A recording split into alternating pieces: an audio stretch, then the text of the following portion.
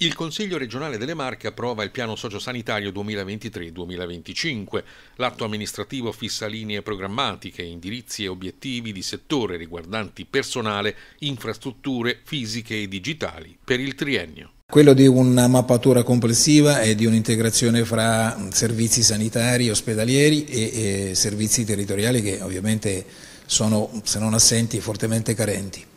e una previsione praticamente di poter conseguire praticamente in modo appunto razionale la valorizzazione di tutte le strutture esistenti, la reintegrazione di quei servizi che eh, sono saltati nel corso del tempo per eh, previsioni normative oggi ingiustificabili e il potenziamento delle risorse che continuerà ad essere carente per il prossimo futuro ma sulla previsione di questo piano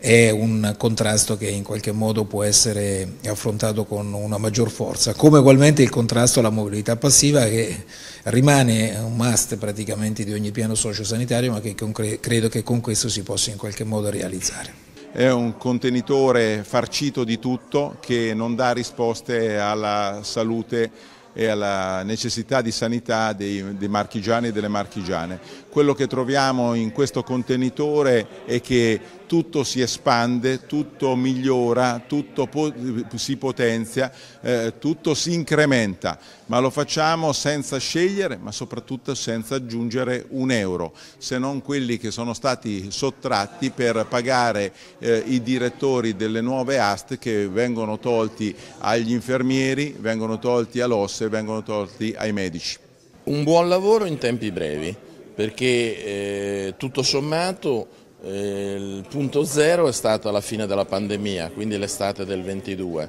Da quel momento si è lavorato sul fabbisogno,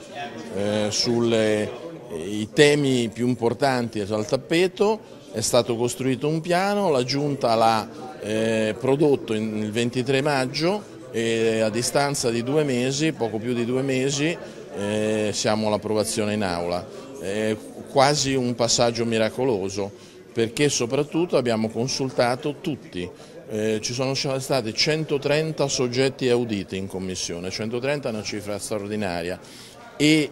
eh, diciamo, i temi che hanno posto sul tappeto sono stati tutti integrati nella eh, formulazione successiva del piano. Tutte le categorie, tutti gli enti, tutte le associazioni che sono state udite hanno portato un contributo. Questo contributo è stato eh, valutato, studiato e portato anche all'interno del gruppo Rinasci Marche, vede positivamente questo rapporto che c'è stato al di fuori del palazzo dove spesso quando si scrivono delle leggi o si scrivono dei piani eh, le persone ci rivendicano che all'interno del palazzo si fanno le decisioni. Le decisioni sono state prese in maniera aperta con eh, l'ascolto, con eh, un ascolto attivo. Questo ascolto attivo è stato messo all'interno del piano, questo ascolto attivo ha visto il favore del gruppo Rinasci Marche che ha lavorato concretamente nel portare dei miglioramenti a questo piano.